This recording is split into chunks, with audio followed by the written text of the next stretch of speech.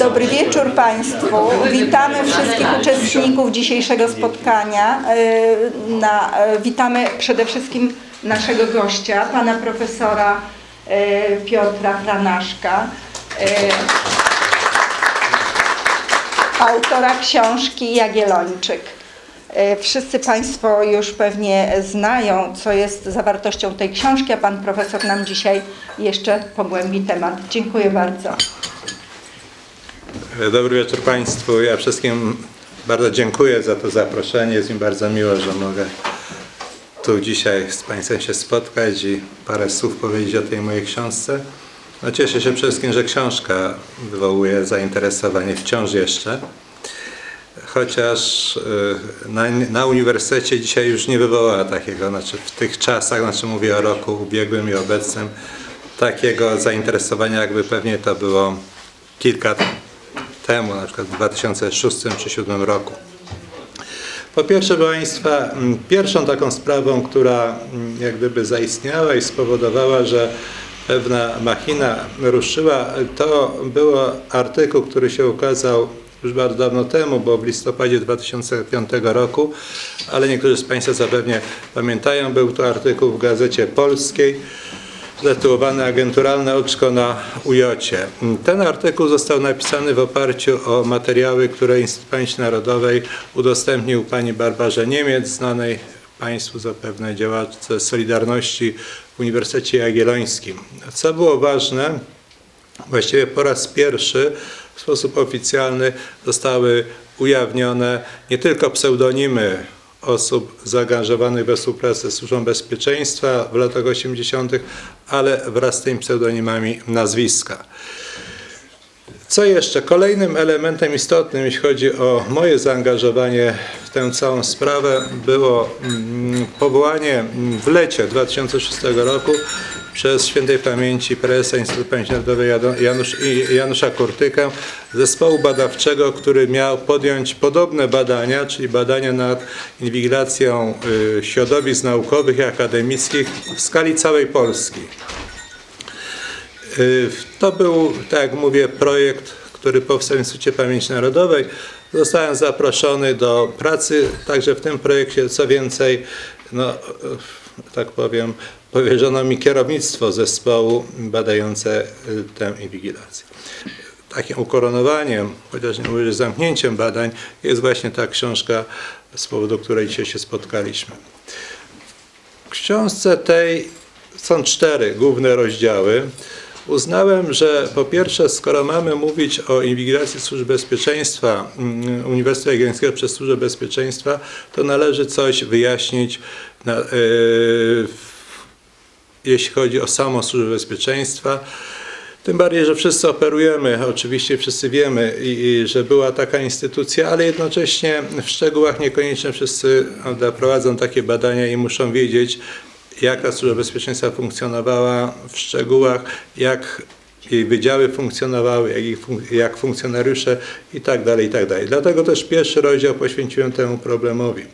Y, Drugą sprawę to właśnie jest największy rozdział tej książki, czyli poświęcony sieci agenturalnej.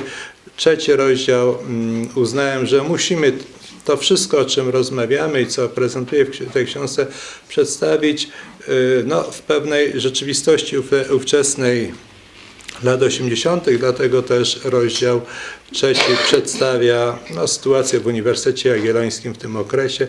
No i w końcu mm, w czwartym rozdziale e, jak gdyby efekty działań służb bezpieczeństwa w postaci różnych spraw obiektowych, operacyjnego sprawdzenia, operacyjnego rozpracowania itd. itd.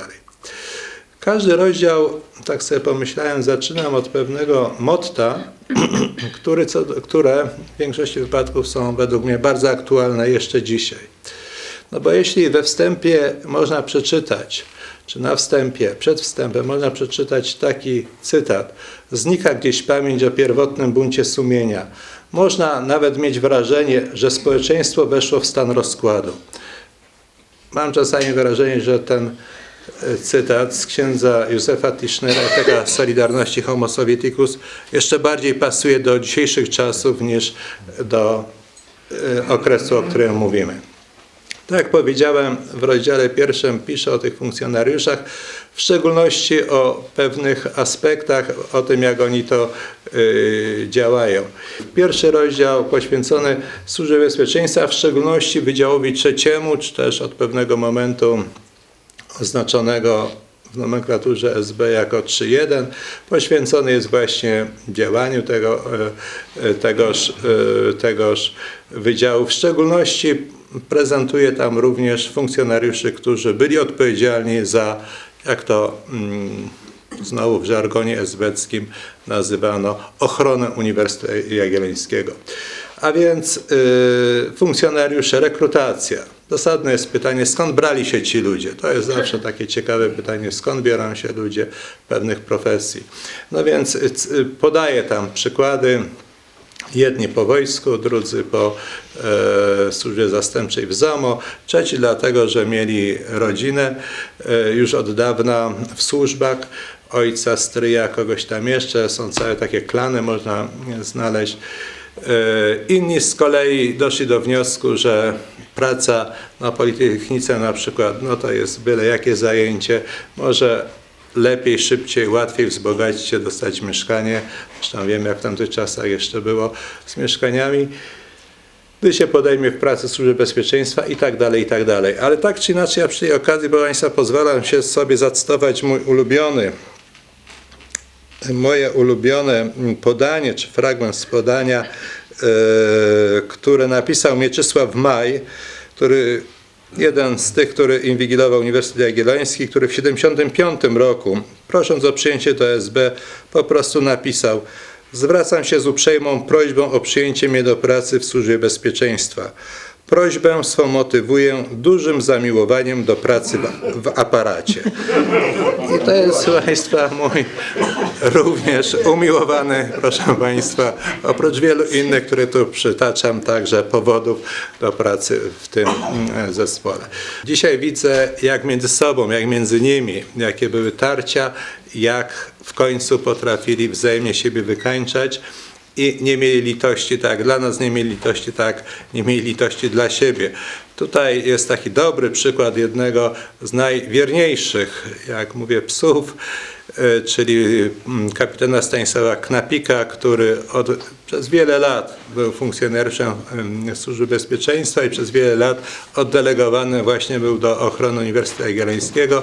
Zabrakło mu niecałe dwóch lat do wypracowania emerytury e, tej właśnie milicyjnej i został bezwzględnie zwolniony. Zwolniony, wyrzucony do tego stopnia, że e, co dużo mówić, albo sprzedawał gazety w kiosku ruchu, przez jakiś czas pracował na budowie w Niemieckiej Republice Demokratycznej, ale nie jako robotnik, tylko jako sprzątacz yy, toalet, dowoził mleko dla robotników, więc prace takie, które prawda, były dla niego niewyobrażalne jeszcze nie tak dawno, gdy chodził po Uniwersytecie Jagiellońskim i wszystkie drzwi rektorów, dyrektorów były dla niego otwo- otworem. Pisał podanie za podaniem, yy, łącznie z ministrem spraw wewnętrznych, byli nieugięci. Do 1981 roku, czyli do wprowadzenia stanu wojennego, wtedy każde ręce były potrzebne. Stanisław Knapik wrócił do łask, najpierw na pół etatu, wykorzystał ten czas, który mu dano, następnie pozwolono mu dosłużyć do pełnej emerytury. Sieć agenturalna to najczęściej i najchętniej, jak zauważyłem, czytany rozdział tej książki. Y, Co więcej, niejednokrotnie, gdy rozmawiam z osobami, które miały ją w ręku, to mówią, no ścigasz agentów, pokazujesz agentów. Ja mówię, tak, ale nie tylko to. No, faktem jest, że ten rozdział jest najobszerniejszy i przykuwa największą uwagę, ze zrozumiałych względów. Ten rozdział ma jak gdyby dwie części. W pierwszej części starałem się ogólnie scharakteryzować mm, tych agentów uniwersyteckich, czy jak to mówiono, sieć OZI na Uniwersytecie Jagiellońskim. Pokazałem, w jaki sposób byli werbowani, jak rozwijała się współpraca, jakie były zasady tej współpracy, co więcej, w jaki sposób byli wynagradzani i w końcu, jak kończyła się ta współpraca. Są to bardzo różni. Tu też, proszę Państwa, dzisiaj to inaczej widzimy. Okazuje się, że można było wycofać się. Mówimy o latach 80. Bez konsekwencji, można było się wycofać. Funkcjonariusze Służby Bezpieczeństwa w tych czasach w większości przypadków nie chcieli mieć niewolników. Chcieli mieć ludzi od siebie uzależnionych finansowo czy innymi tam metodami. Natomiast jeśli ktoś ewidentnie wymigał się od e, tego wszystkiego, jeśli ewidentnie mówił, nie chcę z wami współpracować, wykreślano go z ewidencji. Jeśli zdekonspirował się, jak to mówiono, a więc zdradził przed kimś, że jest zamieszany w taką współpracę, bezwzględnie go e, e, wykreślano. Daję tam takie przykłady, proszę Państwa. I, i, i jak mówię, niektóre uważam, że godne są no, pochwały, mogę sobie wyobrazić, że wymagały pewnego nawet bohaterstwa. No, a- też wielu innych do końca współpracowało i jednocześnie mam wrażenie, że sprawiało im to jakoś taką, oprócz korzyści finansowych czy innych, nawet mieli z tego powodu jakąś satysfakcję, żeby nie powiedzieć, że zadowolenie. W drugiej części tego rozdziału pokazuje e, indywidualne przypadki. Na, na tyle, na ile materiały mi pozwalały, starałem się opisać każdy z tych przypadków. No, Również, i to Państwo widzą w tej pracy, też przede wszystkim, jeśli miałem na to materiały, pokazywałem ludzi z imienia i z nazwiska. Ja uważałem, że y, nadszedł czas i my mamy prawo, my na przykład pracownicy uniwersytetu, ale także wszyscy inni, którzy się tym interesują, aby wiedzieć, kto kryje się za pseudonimem Andrzej, a kto za pse- pseudonimem Józef, a kto za innym pseudonimem. Zwłaszcza, że część tych ludzi wciąż jeszcze pracuje w uniwersytecie. No a nawet jeśli nie pracują, to także mamy prawo o tym wiedzieć. Jednocześnie przyjąłem zasadę, że jeśli materiały, które, którymi dysponują, nie pozwalają mi na jednoznaczną identyfikację, to nawet jeśli bym podejrzewał, czy z kontekstu wynikałoby, że to musiała być ta osoba, to jednocześnie nie podawałem tego nazwiska. No, z wielu względów, jak Państwo wiedzą.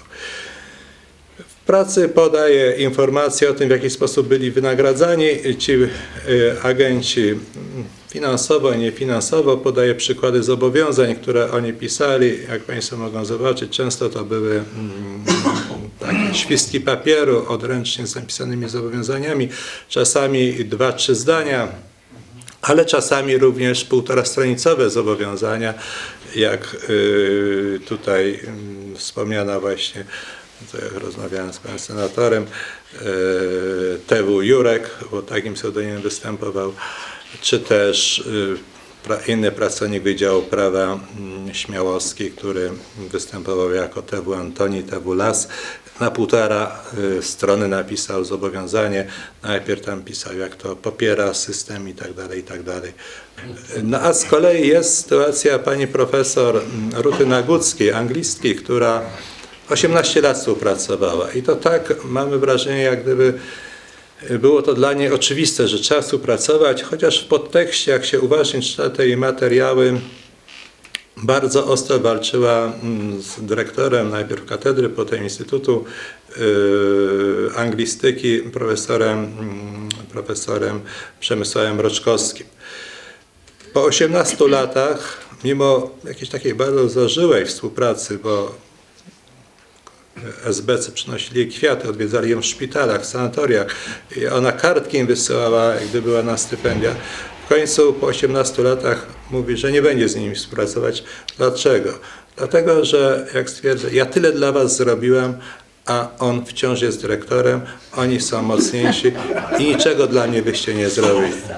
Prawda? To jest coś nieprawdopodobnego. To na pewno, tym bardziej, że rozmowa odbywała się w parku Jordana, bo nie chciała się zgodzić, o tyle wcześniej przychodziła do takich czy innych lokali konspiracyjnych czy y, kawiarni.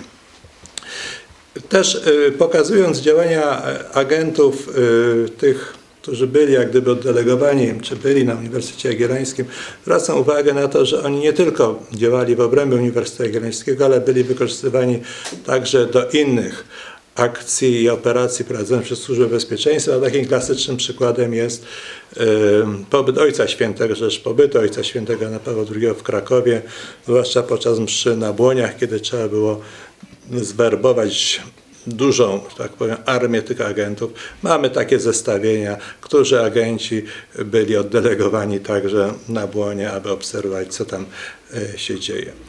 Czwarty rozdział, ostatni rozdział to wykaz i opis spraw prowadzonych przez Służbę Bezpieczeństwa. Tyle, czyli tych owoców. Tak naprawdę moje działania mm, w sensie poszukiwań od tego, się, od tego się zaczęły. Sprawdzać, no to był taki czas, w tej chwili materiały ewidencyjne są już dostępne. Natomiast kilka lat temu, mimo tych wszystkich wolności, niewolności, tego wszystkiego, o czym karmiono, mówię o połowie pierwszej dekady XXI wieku, nadal materiały ewidencyjne były niedostępne dla badaczy. Gdy przyjechałem pierwszy raz do archiwum Instytutu Pamięci Narodowej w Wieliczce, wtedy dyrektorem jeszcze był profesor mm, Ryszard Terlecki, oprowadzał mnie po tym archiwum i mówi, podprowadził mnie właśnie w piwnicach e, pod e, mm, tam pokój zamknięty. Mówi, tam to nawet ja nie mogę wejść. Mówi że jestem dyrektorem, bo tam są wciąż tajne materiały Służby Bezpieczeństwa. A był to, jak mówię, 2006 rok. To może tyle już, y, żebym więcej nie musiał w tej chwili mówić. Y, Dziękuję bardzo. Mm, Ja teraz chciałam się wesprzeć tutaj, że na nasze zaproszenie, zaproszenie Księgarni Gazety Polskiej, poprosiliśmy profesor, e, doktora Pasierbiewicza e, o zgłębienie jakby tematu i, i e, powiedzenie, może odniesienie się do e, obecnej sytuacji, ale widzę teraz na sali więcej tutaj osób, które nas mogą wesprzeć swoimi pytaniami. Ja tylko swoje pytanie zostawię dla pana profesora na koniec, bo mnie to bardzo ciekawi. Czy ktoś z uniwersytetu odezwał się do pana profesora z, nie wiem, z pretensją, bo do dzisiaj pracuje i może też był e, TW. Ale to poczekam na Dobrze. odpowiedź. Dziękuję bardzo i zapraszam pana, pana doktora. Dobry wieczór Państwu. Nazywam się Krzysztof Pasierbiewicz. Y, Jestem wieloletnim, 27-letnim nauczycielem akademickim Akademii Górniczo-Hutniczej. Oprócz tego wystąpię dzisiaj jako członek e, krakowskiej sekcji Akademickiego Klubu Obywatelskiego imienia Lecha Kaczyńskiego i e, też z tym, co chcę powiedzieć, jest związana moja działalność blogerska. Jestem blogerem salonu 24 i niezależnej.pl.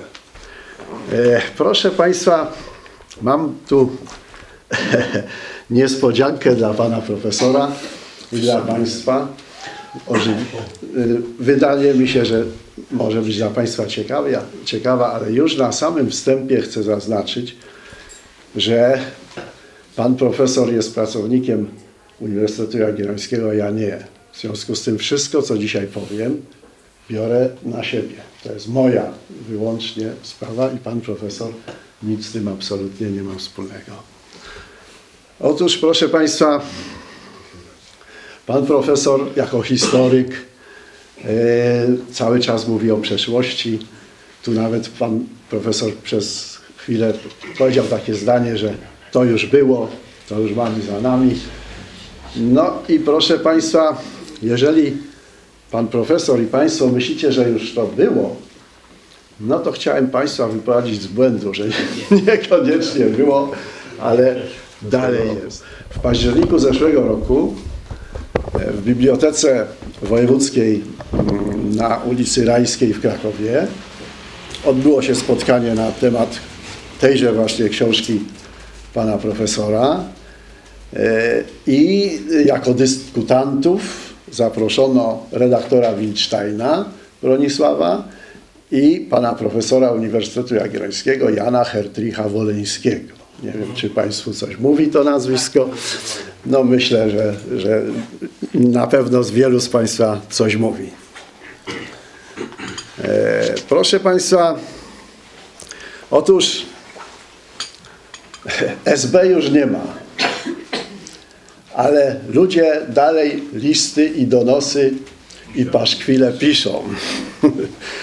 I teraz Państwu opowiem no, taką dość ciekawą historię. Otóż po tym, na tym spotkaniu, wtedy tam w bibliotece, e, profesor Wołański, który jest dobrym mówcą, zdominował troszeczkę to, to spotkanie. Tak, takie ja w każdym razie odniosłem wrażenie. Być może, że pan Wilstein był zmęczony, bo był jakiś taki spokojniejszy niż zwykle. No i spotka- na, pod koniec spotkania padła taka konkluzja pana profesora Woleńskiego, że, y, że właściwie to mm, na wszystkich uczelniach ludzie donosili na SB, a na UJ nie. No i, a jeżeli już, to w bardzo znikomym stopniu i procencie. No i wtedy już nie wytrzymałem i proszę Państwa, poprosiłem o głos w dyskusji E, i opowiedziałem pewną historię tam na Rajskiej, którą Państwu opowiem jeszcze też dzisiaj. Otóż proszę Państwa, w 1995 roku, jak wybrano prezydentem pana Kwaśniewskiego, nie wytrzymałem, bo, się, bo- to jeszcze nie było wiadomo w wieczór, czy jak będzie, jak się rano obudziłem, już były wyniki, nie wytrzymałem, usiadłem do komputera i napisałem coś w rodzaju takiego listu otwartego do moich przyjaciół, różnych znajomych. To jest króciutkie, więc Państwu przeczytam, co napisałem. Napisałem wtedy w dniu zwycięstwa Olka, pamiętacie Olo, Olo, Disco Polo Państwo? Pragnę pogratulować osiągniętego ostatecznie sukcesu wszystkim zwolennikom grubej kreski, którzy blokując lustrację utorowali czerwonym drogę do władzy absolutnej.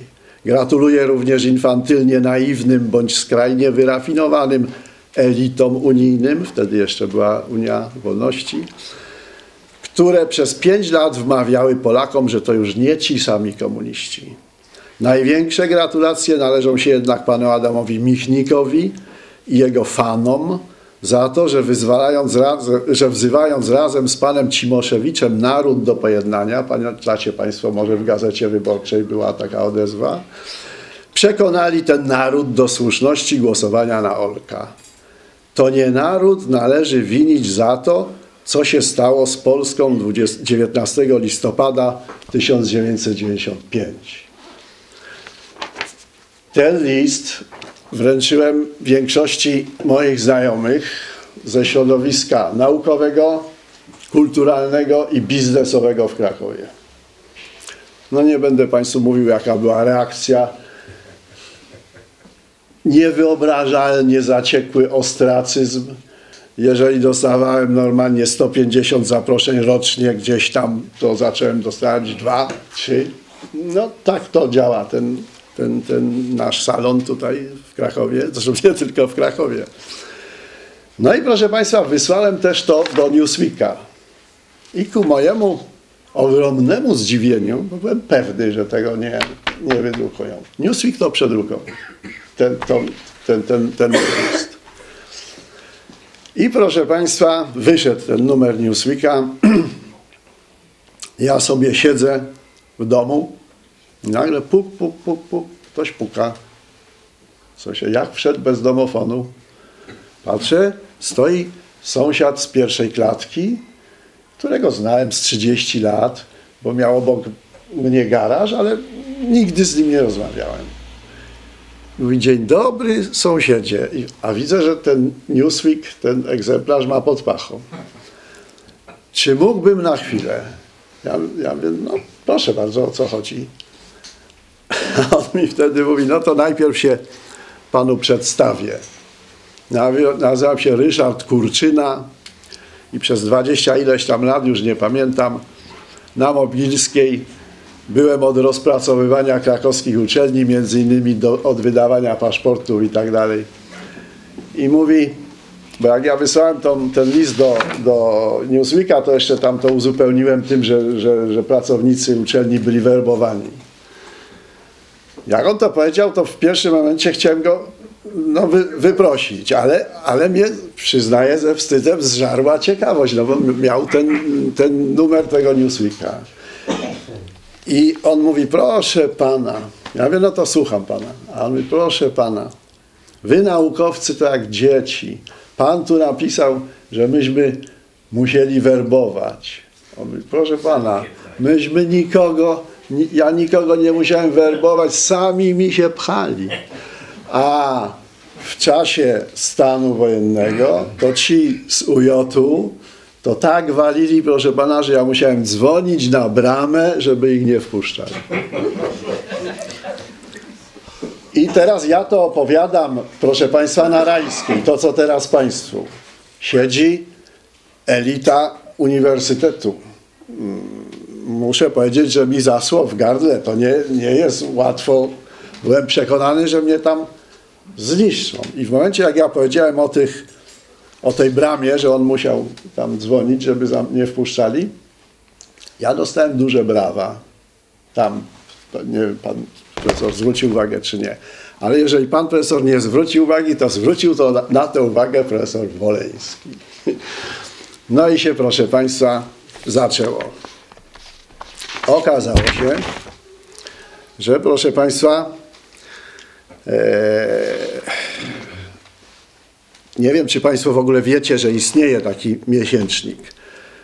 W Krakowie wychodzi miesięcznik społeczno-kulturalny Kraków.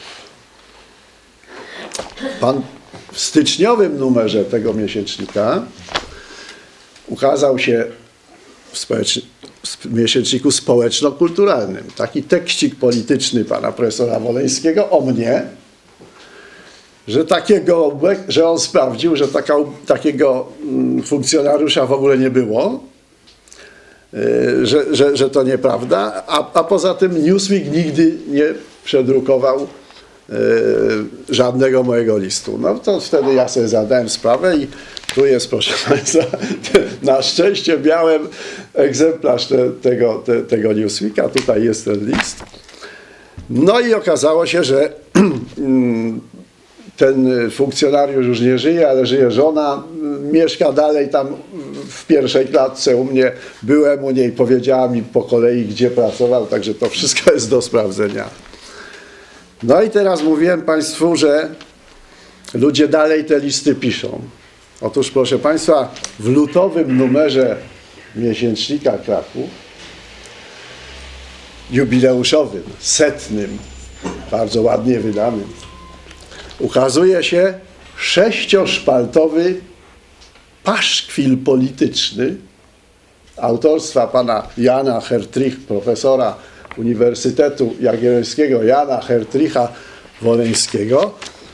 Szka- tak. nie. Tak, Hertrich to jest tak. To niedawno sobie dodał. No, już, już od jakiegoś czasu dobrego sobie dodał. Y, I no, nie będę Państwu mówił, mm, bo to szkoda czasu, Mm, ale gorąco Państwa zachęcam. Kupcie Państwo, to kosztuje 10 zł. Kupcie Państwo to z ciekawości i przeczytajcie artyk, ten artykuł. Tytuł jest Jeszcze o tych, którzy walili drzwiami i oknami. Tutaj zabolało pana profesora. I proszę Państwa, y, dlaczego mam do Państwa prośbę, żebyście to przeczytali? Ja, ja, ja pamiętam jeszcze Bieruta. Pamiętam, jak na mojego ojca pisano donosy na UB. Z, nie, nie patrzcie Państwo na to, co tu jest napisane, ale to też, ale przede wszystkim w jakiej formie.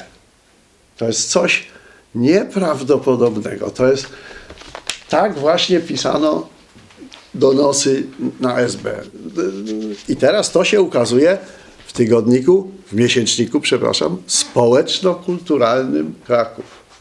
Więc ja napiszę tam do nich, żeby dobrze by było, jakby zmienili nazwę na miesięcznik społeczno bardzo kulturalny salon, Różowy Salon Krakowa, no bo to tak mniej więcej można by to nazwać.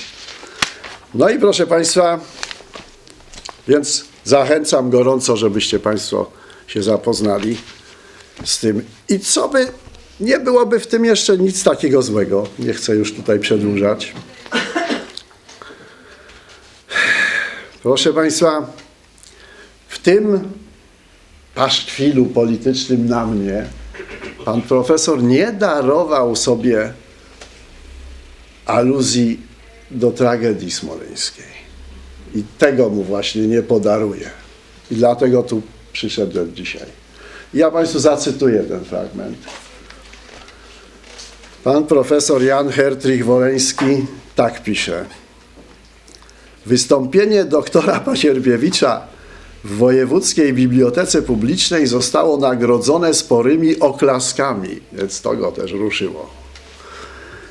Właśnie wtedy, gdy ujawnił on swoją wiedzę o waleniu drzwiami i oknami. Znaczy to, że takie objawienia znajdują uznanie u części Polaków. O, pan, pisze pan profesor Uniwersytetu Jagiellońskiego Jan Hertwig Woleński. Dalej. Mit staje się mitem, gdy rodzi się prawda. Aczkolwiek trzeba dodać, że skojarzenie mitologii z pozorną prawdą mającą ją rzekomo podpierać, całkowicie uodparnia jej głosicieli na argumenty. I proszę teraz posłuchać tego zdania. Więc może warto zadbać o to, aby mity nie rozwijały nadmiernie skrzydeł, nigdy bowiem nie wiadomo, gdzie dolecą i jakie spowodują konsekwencje. No cóż, ja Państwu więcej będę mówił. Myślę, że aluzja jest jednoznaczna. I kończę już. Proszę Państwa, jestem mojemu ojcu Akowcowi winien to, co teraz powiem. Dlatego tu przyszedłem. Powszechnie wiadomo, że pan profesor Woleński był głównym antylustratorem na Uniwersytecie Jagiellonskim. Zresztą nie tylko na Uniwersytecie. Pisał dziesiątki artykułów, między innymi wyborcze, ale nie tylko. Jest ogromny materiał, można zobaczyć w internecie. Zresztą pan profesor otwarcie to przyznaje, on się tego nie, nie wypiera. Otóż, proszę Państwa, nie wiem jakie jest Państwa zdanie, ale w moim, w, w moim mniemaniu ktoś, kto był zwolennikiem zablokowania lustracji, a on ją zablokował, opowiada się tym samym za uniemożliwieniem ludziom dochodzenia prawdy historycznej. No nie wiem, ja, ja to tak widzę. A więc, proszę Państwa, pan profesor no, niejako uniemożliwi, był za uniemożliwieniem dociekania historycznej prawdy. I teraz Państwu powiem no, no już puentę tego, co chciałem powiedzieć. Otóż, proszę Państwa,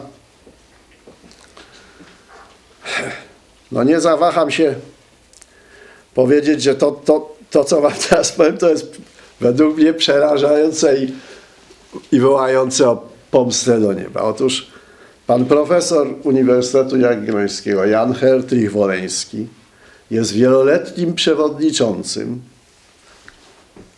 uwaga, Komisji Etyki w Nauce Polskiej Akademii Nauk. Jeżeli takich etyków wybierają ludzie na uczelniach, no to daleko nie zajedziemy. Bardzo Państwu dziękuję. Przepraszam, Panie Profesorze. Oczywiście wszystko, co powiedziałem jest, mówię za siebie. Wyłącznie za siebie. Dziękuję. To tyle. Jestem pracownikiem Uniwersytetu Jagiellońskiego i chciałam Pana spytać o taką sprawę. Ja oczywiście znam tą książkę. Czy jeżeli Pan porównuje Uniwersytet Jagielloński z innymi uczelniami, bo na pewno Pan ma taką wiedzę, to czy uważa Pan, że liczba współpracowników w uniwersytecie jest y, porównywalna, mniejsza, większa? To jest jedno pytanie. Bo ta liczba, którą Pan tu, oczywiście ja nie wiem, że to są wszyscy, prawda? Być może to są ci, do których dokumentów Pan doszedł, dotarł, prawda? Jeżeli Pan w tej książce przytacza nazwiska i nie ma dokumentów, jakby, czy dokumenty zaginęły, y, bo nie wiem, jak to rozumieć. Tam sprawa dotyczy jednego z moich kolegów to po prostu, czy opierał Pan wiedzę w takim przypadku na dokumentach płynących z innych źródeł, czyli inni pisali o tej osobie, że, y, no, że był współpracownikiem. I jeżeli mogę odpowiedzieć Panu, doktorowi, to Oczywiście, że to jest prawda, że uniwersytet wcale nie był zadowolony z lustracji. To nie tylko pan, y, pan profesor, tylko Rady Wydziału, właściwie nie wiem jak, ja mogę mówić o mojej Radzie Wydziału, która zdecydowanie była przeciwna lustracji, a poza tym nawet ta książka, która y, wyszła, nie jest pozycją, która jest czytana w uniwersytecie, a mogę powiedzieć, że wręcz e, mówienie o tych sprawach, czy jakby próba podjęcia dyskusji na temat tych osób spotyka się z reguły z takim właściwie mm, nie, nie, nie chcą ludzie na temat rozmawiać i mówią, że przecież ci ludzie nic złego nie zrobili. Nikomu z nas nic złego nie zrobili. Jakby. To nie jest moje Co też zdanie. pani opowiada? Co, proszę Panią, Nie Pani chcą się, chyba... się boją, bo to jest to, co Spokojnie. Spokojnie. Przecież ja nie mówię o sobie. Chyba osobno. Ja, y, ja po prostu przedstawiam panu, jaka jest i proszę mnie źle nie zrozumieć. Ja mówię to, bo ja, ja oczywiście y, jestem za y, tym, żeby dociekać tej prawdy, ale to absolutnie się nie spotyka z jakby aprobatą ludzi wrę- wręcz właśnie powtarzam panu to, co słyszę. Przecież ci ludzie nic złego nie zrobili, bo wszyscy jesteśmy profesorami, doktorami i tak dalej. I niestety, i niestety taka jest, przykro to powiedzieć, ale ja się z tym spotykam. Każdy z nich mówi to samo. Nikomu nie szkodziłem. Ja podawałem informacje ogólne, znane i tak dalej. Wszystko było ważne. Włącznie z tym, co ja jem na śniadanie. Tak? tak. Czy mam psa, to co ksiądz y, Tadeusz właśnie mówił, prawda? Dlaczego tak to było ważne? Dlatego, że w momencie, kiedy oni wzywali mnie na rozmowę, to oni mnie pytali, jak tam panu smakowały y, y, płatki kukurydziane, które pan jadł? Skąd oni to wiedzą? To jest pierwsza rada. Oni wszystko wiedzą. To znaczy, ja z nimi nie wygram. Ja przyjąłem generalnie taką zasadę. Nie podaję żadnego nazwiska, jeśli nie mam na to, że tak powiem, papierów. Tak naprawdę, proszę Państwa, tajnymi współpracownikami mogli być ci tylko, o których nikt nie wiedział, że był tajnym współpracownikiem. Stąd na przykład zaskoczenie dzisiaj co do niektórych osób, tej, y, osób, na- y, które tu są wykazane jako tajni współpracownicy, a byli na przykład aktywnymi y, działaczami Solidarności Uniwersyteckiej, bardzo pozytywnymi, jak się wydawało w odbiorze.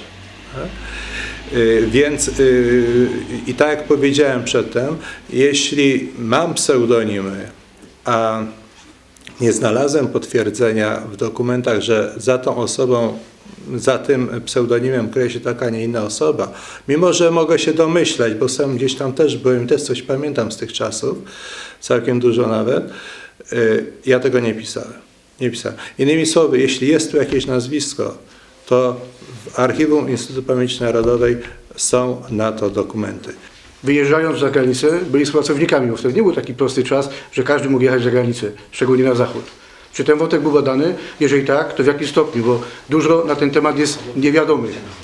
I to jest właściwie problem w Polsce, gdzie profesorów się dopuszcza właśnie do, do rządzenia Polską i oni jako agenci Polskę sprzedają. Moje pytanie jest takie, mianowicie y, jakich kategorii informacji Służba Bezpieczeństwa żądała? Y, Ponieważ y, ja mam nieodparte przekonanie, że na przykład u nas w Akademii większą rolę, że tak powiem, odgrywały raczej służby typu wojskowego, czyli, czyli y, wywiad i kontrwywiad. W- moim instytucie wiem, było dwóch z. No bo techniczna uczelnia. No właśnie, bo jest to, bo jest to techniczna u- uczelnia. No znaczy rozumiem, że powiedzmy w, w przypadku uczelni humanistycznych, no osoby zatrudnione tą, jakby powiedzieć, społecznie są bardziej niebezpieczne, bo ich oddziaływanie jest, jest silniejsze na, na społeczeństwo. Natomiast w przypadku Akademii Technicznej, no to cóż, to jest i jedna maszyna więcej, powiedzmy, o tak, o, ogólnie sobie powiedzmy. Stąd, stąd powiedzmy być może y, większe zainteresowanie y, służb specjalnych ogólnie typu wywiad i kontrwywiad było właśnie na uczelniach technicznych. Dziękuję bardzo. To niekoniecznie musiał być wywiad i konwiat wojskowy, bo istniał tak zwany wywiad i konwiat cywilny, jak to oni mówili, czyli pierwszy departament i e, drugi departament i drugi wydział, bo departament pierwszy był tylko w Warszawie, natomiast wydziały dwójka tak zwana, czyli kontrwywiad był, miał również swoje wydziały, jeśli chodzi o struktury służby bezpieczeństwa. E, Tak, więc e, po kolei, jeśli chodzi o właśnie pytanie pana Mejdzika, Oto jestem często pytany, natomiast ja tych badań nie prowadziłem i w tej książce nie ma o tym nic. Mnie interesowało, i tak tu jest w tytule jest tej książki, działanie służby bezpieczeństwa wobec uniwersytetu.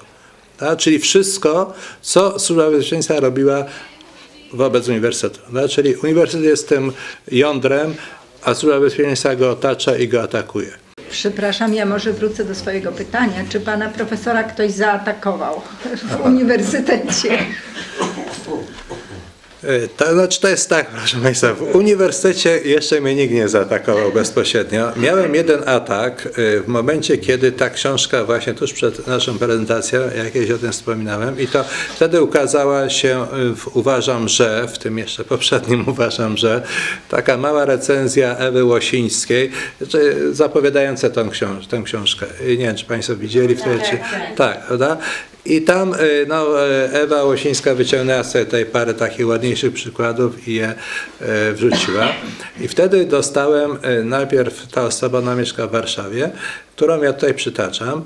Zresztą wspominałem o niej. To jest ta dziewczyna z polonistyki czy z filmoznawstwa, która tam została zwerbowana. Potem jak zresztą przeglądałem w internecie oczywiście jej życiorys, to bym powiedział, że ona dzisiaj jest prawdopodobnie po naszej stronie. Ona by tutaj siedziała, ja tak podejrzewam.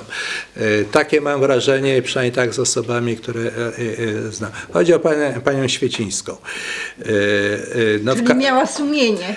to znaczy tak, ale zaatakowała mnie bardzo ostro. To znaczy pierwsze, ona dała tam telefon, ja nie widziałem powodu, żeby do niej dzwonić, przez telefon to się niczego nie załatwia. Natomiast mailowo zaczęła mnie y, bardzo ostro atakować. Pierwszy jej mail był taki, że y, w sposób nieodpowiedzialny grzebie w, w życiorysach ludzi i tak dalej, i tak dalej. Po prostu ona właściwie to nic, że ona tylko przez miesiąc, że ona, no ja jej spokojnie odpowiadałem. Wymieniliśmy chyba 10 takich maili w to i z powrotem. Ja jej odpowiadałem. Ona mówiła, że na tylko miesiąc, ja mówiłem nie. Formalnie prawie 5 lat i dawałem jej dokumenty, odsyłałem jej dokumenty. No więc y, był to taki, mówię, ostry, nieprzyjemny, gdzieś te maile mam zachowane, a tak, no ona mnie po prostu sponiewiera, no wylała mi trochę takich y, pomyli na głowę, w sposób taki bardzo bezceremonialny. Yy, Natomiast, yy, jak mówię, na koniec yy, przeprosiła mnie za wszystko, przyznała mi rację, co było yy, jakąś tam dla mnie pewną satysfakcją, ale yy, dlaczego, jak przynajmniej sobie wyobrażam, jej zdenerwowanie było tak duże? Otóż ona kilka lat temu, bodajże w 20 2006 roku, wystąpiła do IPN-u, pewnie chciała rozpoznać, jaka jest sytuacja, z prośbą o informacje na temat swojej osoby. Yy, Ja, ja już nie pamiętam, czy to, to musiało być chyba jeszcze przed tą nową, yy, albo jeszcze wtedy, kiedy współpracownicy tajni nie mieli dostępu do, do czy nie ujawniano im y, materiałów yy, archiwalnych. Natomiast ona wystąpiła i dostała odpowiedź z Instytutu Pamięci Narodowej, przesłała mi zresztą mailem ten, y, ten kwit, że tak powiem, że nic na niej temat nie ma w archiwum Instytutu Pamięci Narodowej. W tym samym czasie, bo ja potem jej teczka leżała u mnie na biurku w Instytucie Pamięci Narodowej i ja to przeglądam. Więc i ona przez te ileś tam lat, ja wyobrażam sobie szok, żyła w przekonaniu, że sprawa jest wyczyszczona, że ona jest i na pewno musiała przeżyć bardzo nieprzyjemny szok. Tym bardziej, że tak jak mówię, ona była bardzo aktywna, na przykład e, po naszej stronie, przepraszam, tak mówię, e, znaczy myślę, że dobrze tak mówię, gdy była na przykład sprawa e, katastrofy smoleńskiej, ja o tym wiem. No ale, y, y, więc to, była ta, to był taki najostrzejszy atak. A z innych y, takich, tutaj padło nazwisko profesora Woleńskiego, który napisał taką recenzję, nazwijmy to, w tym samym właśnie miesięczniku. No tam wykazuje mi coś tam, coś tam, coś tam, ale ku mojemu zadziwieniu kończy tę recenzję stwierdzeniem, że taka książka no, dobrze, że powstała. Właśnie taka jest jego konkluzja jest, czy że powinna była powstać, chociaż on się oczywiście tam odżegnuje od, od tego rodzaju e, działań. Na razie nie spotkałem się z jakimś takim atakiem, no jak mówię, że ktoś tam jest zaburzony czy coś. No zobaczymy jak dalej będzie. Dziękujemy. Chyba to jest tak, że się dobrze czują ci wszyscy ludzie na razie. Dziękujemy bardzo. Dzisiaj mamy w promocji książkę pana profesora. E, Zapraszamy do uzyskania autografów. Dziękujemy serdecznie naszemu gościowi. Ja również dziękuję. E, Dziękuję bardzo. Dziękuję bardzo. Ja również Państwu bardzo dziękuję za Państwu zaproszenie. również, Państwu również dziękuję bardzo. Zapraszamy na kolejne nasze spotkania. Dziękujemy serdecznie. Dziękuję bardzo. Mogę prosić o Oczywiście. I dziękuję bardzo.